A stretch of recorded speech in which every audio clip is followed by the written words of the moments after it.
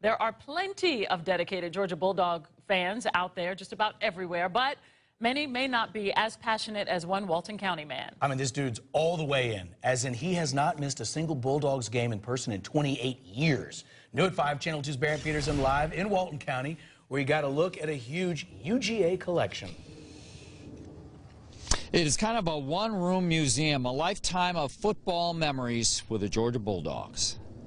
This upstairs bedroom in a corner of Walton County is something of a shrine. This is all of my husband's uh, collection. Melanie Cooksey says husband John and the Georgia Bulldogs go way back. His blood runs red and black, and I can tell you, uh, he is not the bandwagon fan. He loves every single sport and has loved it since the day he was born.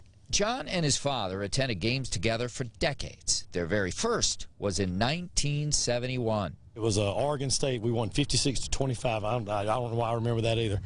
Um, I was four. In the early years, it was all of the home games, but they soon began to follow the dogs everywhere they went. We started going to every home and away game.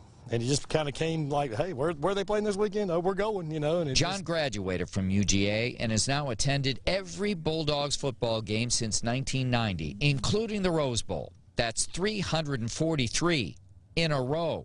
We're section 328, so that's about right here. Back in that upstairs bedroom, they'll soon add souvenirs from this coming Monday's national championship game. It seems there's not enough room here, no. we need a we need a basement. John says there will always be a soft spot in his heart for his alma mater. Next to the good Lord above and my family and the country that we live in, Uh, there's nothing I love more than University of Georgia. Now, John admits he did miss just one game, and that's the 2000 Oahu Bowl in Hawaii. Remember that one? But since 1990, he has attended every single UGA game on the mainland. Reported live in Walton County, Berndt Petersen, Channel 2 Action News.